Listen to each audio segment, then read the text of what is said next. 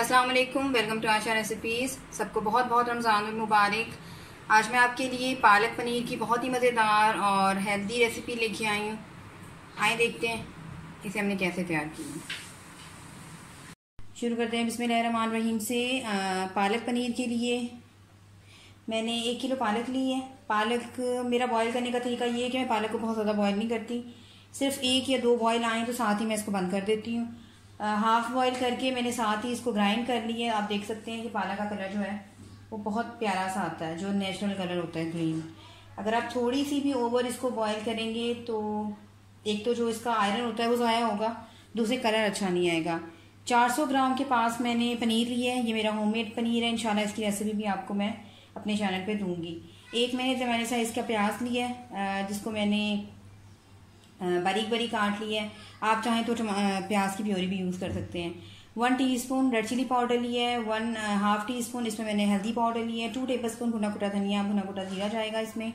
One teaspoon table spoon इसमें मैं नमक ले रही हूँ और हाफ़ टेबल स्पून इसमें मैं गरम मसाला पाउडर ले रही हूँ। टू टू टेबल स्पून इसमें लहसुन अदरक का पेस्ट आएगा और ये सूखी मेथी है। टू टेबल स्पून मैंने ये लिए हैं, मैंने इसको धो के पानी में डिप करके रख दी है। क्योंकि मट्टी वगैरह होती है तो मैं इसी तरह से धो कर भिगो के रखती हूँ, सूखी मेथी को। लेकिन अगर आपने मेथी वैसे भी साफ़ की हुई है तो अगर होममेड आपकी सूखी हुई मेथी है तो फिर चाहे आप सूखी भी डाल सकते हैं। तो शुरू करते हैं अपनी रेसिपी करते हैं इसमें रहीम से। ऑयल हमारा गर्म हो गया है। एक प्यारी मैंने ऑयल ली है। और उस वक्त मैं आपको दिखाना भूल गई, मैंने एक भुना हुआ और कुटा हुआ सिर्फ़ ज़ीरा जो है, वो मैं डालूँगी शुरू में। और इसको बहुत ज़्यादा नहीं करेंगे फ्राई। साथ ही मैं इसमें प्याज डाल दूँगी। प्याज भी हमें बहुत ज़्यादा फ्राई नहीं करने, सोते ही रखने हैं।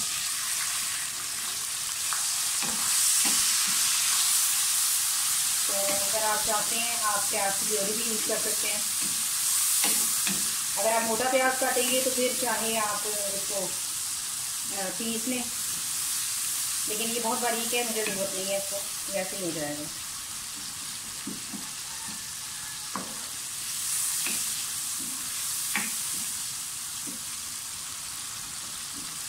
प्याज थोड़ा थोड़ा सा फ्राई हो जाए साथ ही इसमें लहसुन अदरक का पेस्ट डाल दें।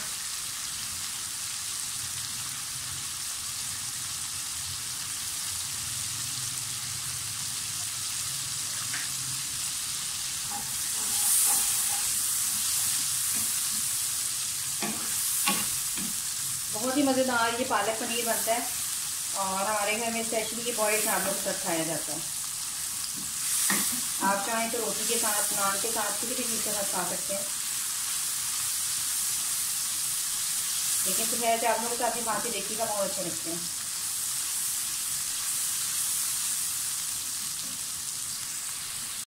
सूखी मेथी डाल दें।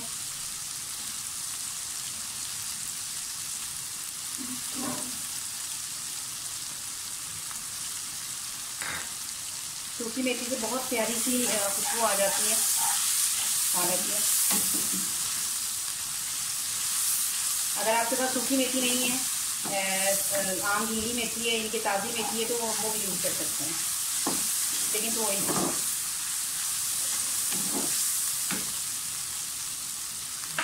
साथ ही इसमें धनिया पाउडर और ज़ीरा पाउडर डाल दें।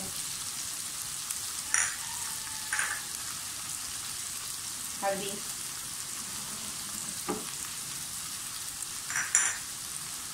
नमक डाल दो। और रेड चिली पाउडर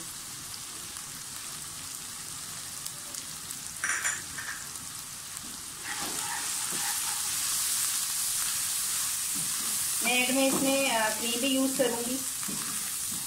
आप चाहें तो घर की क्रीम भी यूज़ कर सकते हैं। लेकिन मैं बाज़ार की थोड़ी सी क्रीम यूज़ करूँगी।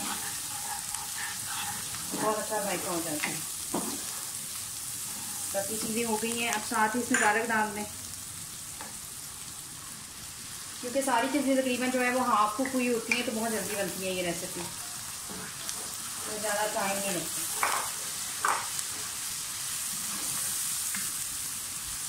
आप चाहें तो पनीर को फ्राई करके भी डाल सकते हैं, लेकिन आज मैं पनीर को वैसे ही डालूँगा।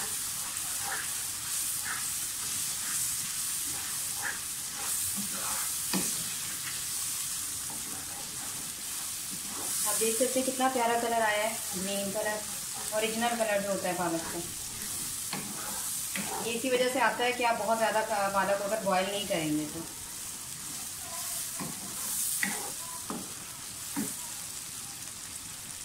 साथ ही गरम मसाला भी डाल दें। मैंने पालक में एक किलो पालक में तीन से चार हरी मिर्चें जो है वो डालकर बॉईल की थी और फिर उसको ग्राइंड कर लिया था तो ये लाजमी करना है। हरी मिर्चों से बहुत अच्छा टेस्ट आता है पालक में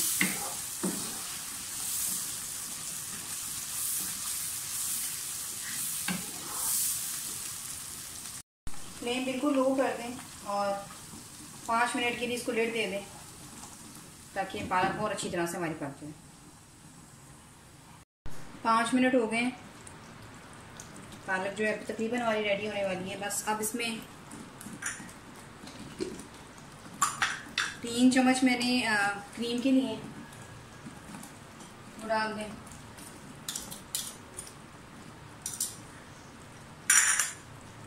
थोड़ा सा मिक्स कर लें क्रीम को।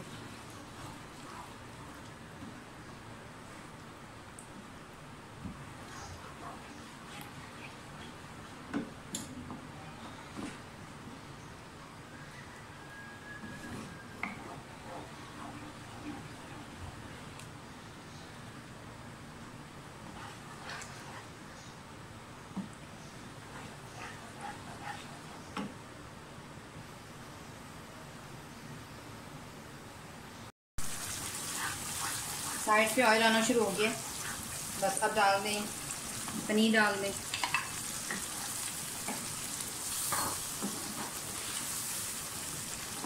और दम पे रखें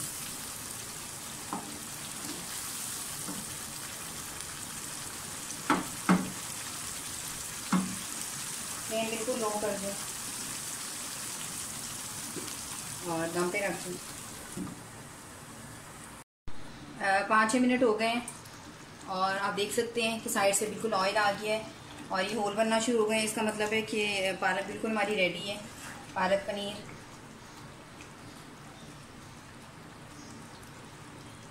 इसे डिश आउट करती हूँ और आपको दिखाती हूँ। लेकिन काइंडली इससे पहले अगर आपने मेरे चैनल आशा रेसिपीज़ को अभी तक सब्सक्राइब नहीं किया तो प्लीज़ सब्सक्राइब कर दीजिए। लाइक भी कीजिए शेयर भी कीजिए। अगर पसंद आता है तो लाइक भी कीजिए।